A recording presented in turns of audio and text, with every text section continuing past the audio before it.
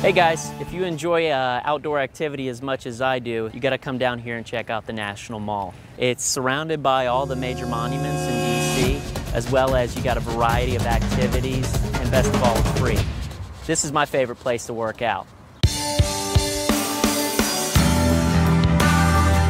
So we just take a beautiful day like today, come out, find a space out here in the grass, and we're gonna do what's called the AMRAP for 10 minutes. AMRAP stands for as many repetitions as possible. A push-up, standard push-up, back is straight, go all the way down, you want your chest to hit the ground, and come all the way back up. For my push-ups, I'm gonna do eight repetitions. If you have a problem with doing a regular push-up, you can do an assisted push-up, which is on your knees. So we're gonna just sit just like this. We're gonna go back, and we're gonna come right back up. For my sit-ups, I'll do 12. Try not to get your uh, butt off the ground. Try and keep it uh, uh, seated. And then as well, you can use your arms if you want. However, you don't have to. The air squat, you want to disengage your hips, drive your butt back, and go down.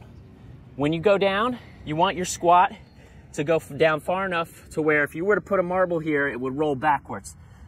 So, or my squats, I'll do 10. And you want to come all the way up, fully extending your hips forward. And uh, we're going to set our timer for 10 minutes. I like to use my phone. In three, two, one.